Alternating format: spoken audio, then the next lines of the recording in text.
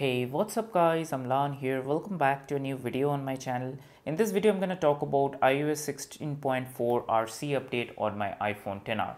So as you can see from the screenshot, it came in about 5.06 gigabytes on my iPhone 10R and also on the all the devices, it will be above 5 gigabytes. So the size is more than 5 gigabytes because whenever you are updating from beta to a stable series of versions or RC, it totally reinstall the operating system. So that's why the update size is huge and it took me uh, around 45 minutes all in all to install this iOS 16.4 update. So in this video, we're going to talk about what are the new features and you know what are the new changes that you can expect with iOS 16.4 RC and probably this is the same version that you're going to get next week if Apple doesn't find any more new bugs with iOS 16.4 RC.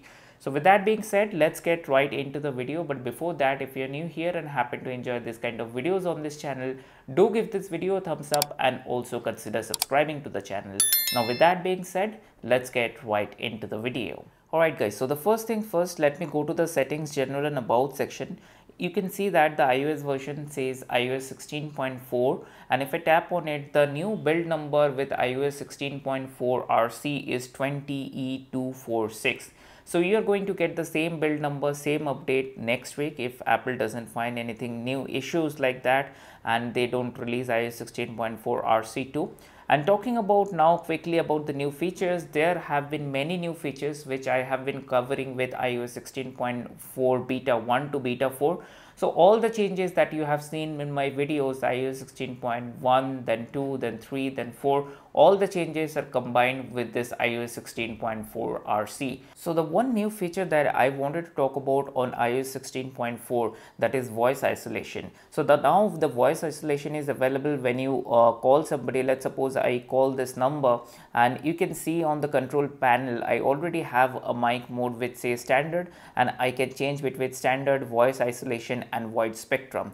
Now this is not only available to your regular calls if you use FaceTime calls and also those will be available there as well. So this is a good add-on and new feature that you're going to get with iOS 16.4 RC update. The way the people get update is going to change. If you see that in the software updates we have now a beta update section if you are a registered developer or if you have specifically you know uh, registered your email id to the ios 16 developers beta or the public beta then only you'll be able to receive the update. So the concept of profile is going away. Still you can download the profile and use it but apple is going to discontinue the you know profile thing. So that's uh, one more major change that is coming up with ios 16.4 the first thing I wanted to talk about that there's no new modem firmware update with iOS 16.4 RC at least on this uh, iPhone 10R. But whenever you're coming from iOS 16.3.1 or iOS 16.3 to iOS 16.4, there will be of course a new modem firmware update. So now talking about the new changes here, I had taken a screenshot from the internet. As you can see, these are all the new emojis that are going to be available with iOS 16.4 update. All this, you know, new heart color options and then Wi-Fi emoji and all these emojis are now available with iOS 16.4 RC. You can use these emojis in iMessage and then you can, you know, use these emojis to express yourself better. So that's the new thing that with iOS 16.4 that you, of course you're going to get. Apart from that, there are few things. Let's talk about those one by one. So the first thing is if you go to the settings and then go to the accessibility, let me find the accessibility over here you can see that voiceover. Now voiceover is supported on two different application weather and map. So while using weather application or whether using apple maps you can use the voiceover. Within this accessibility there is an option called motion. So there is a new option which is dim flash lights. So if you turn this on it clearly says in the description that video content that you know depicts the repetitive flash lights you know strobing lights will be automatically dim so if you're a person which you get disturbed with the flashing lights and whenever you're seeing some video on social media you can just turn this on and it will help you with that. And also you guys know about the new curl animation which is available now in the apple books. So how you can you know enable this animation you can go to the settings and you can click on this uh, themes and settings.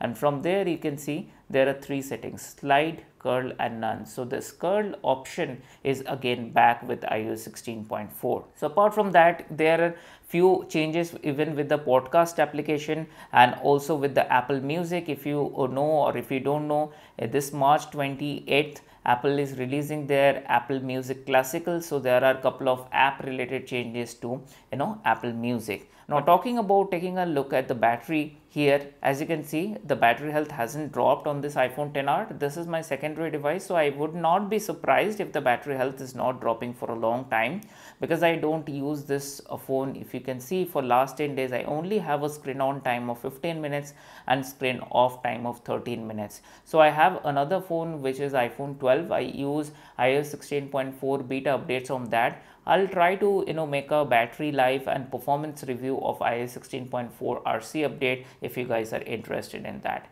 And also you know there were a couple of issues like swipe home animation people were actually frustrated with that kind of issues because whenever you open any application and then you swipe home there always used to be an animation lag.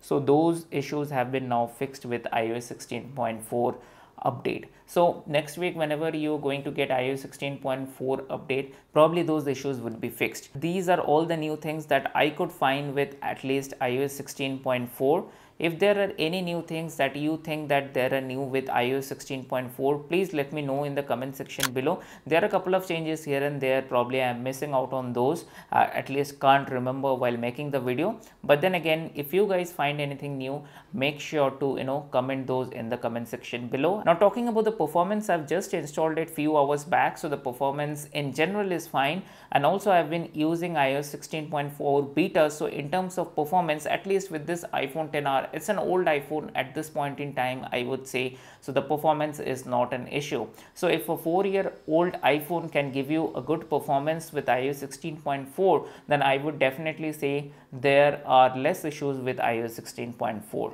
now talking about the performance from another perspective if you talk about geekbench 5 so i've just rammed the geekbench 5 after you know updating to ios 16.4 rc the scores are in front of you. The single core score is 1101 and the multi-core score is 2415. So these are the you know Geekbench 5 scores with iPhone 10R on iOS 16.4 RC. Let me know in the comment section below if you have already installed iOS 16.4 RC. With the help of this video, I just wanted to let you know that we have received iOS 16.4 RC update and if you are someone who is using beta softwares or beta profile then you would be sort of able to get this update. So then again that's it for this video. I hope you have enjoyed this video. Give this video a thumbs up and also consider subscribing to the channel if you haven't already. And i will see you on my next video. Bye bye